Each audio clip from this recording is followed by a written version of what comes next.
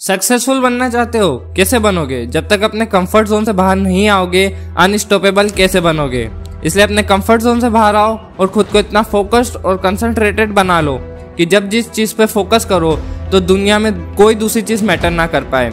आपको जंगल का खुखा शेर बनना है सर्कस का नहीं, जिसे कोई भी अपनी उंगली पे न चाले। इसलिए अपनी उस डार्क साइड से लड़ो जो आपको एक आम इंसान बनाए रखे हुए हैं। कॉन्फिडेंट बनो, पर ओवर कॉन्फिडेंट कभी मत बनो। इसलिए अपनी गलती को एक्सेप्ट करो और उसमें सुधार लाते रहो। इतने काबिल बनो कि लोग आपके साथ कॉम्पीट करना चाहें। और आपके सभी प्लान्स वर्थलेस है जब तक आप उनके ऊपर एक्शन नहीं ले लेते। इसलिए अपने ओपोनेंट को भी अपने एक्शन से जवाब देना चाहिए, अपने शब्दों से नहीं। ऐसे लोगों से दोस्ती करोगे जो खुद हार मान के बैठे हुए हैं तो वो आपको भी सक्सेसफुल नहीं बनने देंगे। इसलिए ऐसे लोगों के साथ दोस्ती करो जो खुद सक्सेसफुल बनना चाहते हैं। अपनी जीत से सेटिस्फाइड कभी मत होना। हमेशा कुछ बेटर चाहने की उम्मीद रखते रहना। एंड एट द लास्ट आपकी सबसे बड़ी जंग अपने खुद से है और आपको अपना टफेस्ट अपोनेंट बनना पड़ेगा। और इस चीज़ में बुक फ्लेंस आपकी बहुत मदद कर सकता है। इसलिए बुक फ्लेंस को सब्सक्राइब कर लो अभी और नोटिफिकेशन बेल को भी क्लिक कर लेना।